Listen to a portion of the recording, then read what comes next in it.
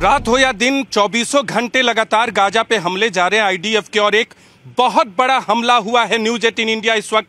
Gaza border पे मौजूद है इसराइल की तरफ़ और वहाँ से आपको एक बड़े हमले की तस्वीर आपको दिखा रही है। इस समय देख सकते हैं आप, उत्तर गाजा में शायद जबालिया या बेट हनून है, उसी का इलाका है, उसी के आसपास का वहाँ एक बहुत बड़ा हवाई हमला किया गया है, जिसकी तस्वीरें कैमरे पर कैद करने की कोशिश हमारे कैमरा पर्सन करम सिंह कर रहे हैं।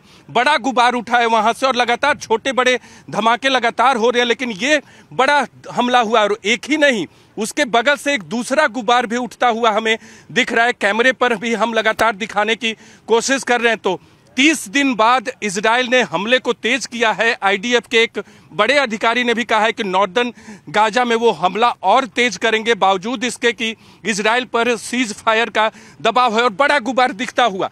एक तरफ़ हल्का काला और दूसरी तरफ़ सफ़ेद गुबार आपको दिख रहा है। यहाँ बेट, हनून, बेट लहिया, जबालिया और उसके बाद गाजा सिटी का शहर है, लेकिन न्यूज़ एटीन इंडिया इस वक्त बड़े गुबार की तस्वीर आपको दिखा रहा है। बहुत बड़ा हमला किया जा रहा है अर्थक्वेक बॉम्ब के इस्तेमाल का भी आरोप हमास की तरफ़ से लगाया गया कि इसराइल ऐसे बॉम्ब का इस्तेमाल कर रहा है, इसराइल के पर आरोप लगाया जा रहा है हमास की तरफ़ से कि जिससे ऐसी स्थिति पैदा होती है कि लगता है कि अर्थक्वेक आ गया। तो इस तरह से लगातार एक के बाद बॉम्ब से हमले, हवाई से हमले, टैंक से हमले, तोप से हमले और लगातार ज़मीन पे हमास के आतंकियों से इसराइल इसराइल की आर्मी लोहा लिए हुए है। लगातार न्यूज़ एटीन इंडिया आपको 30 दिन बाद भी यहाँ मौजूद है। गाजा बॉर्डर पे आप तक रिपोर्ट पहुँचा रहा है।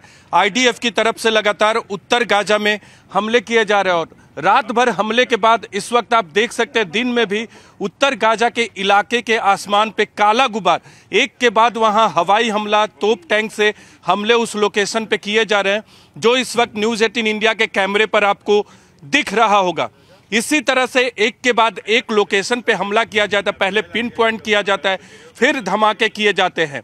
रात में जब हमले होते हैं तो ऊपर ऊपर धुआँ और गुबार नहीं दिखता लेकिन जो आग की लपटें हैं, आग का शोला है, वो आपको देखने को मिलता है। तो न्यूज़ एटीन इंडिया लगातार आपको वो खबर दिखा रहा है जो इस वक्त दुनिया में सबसे बड़ी खबर बनी हुई है। हम यहाँ लगातार मौजूद हैं गाजा बॉर्डर पे, जहाँ से गाजा महज 800 मीटर की दूरी पर है।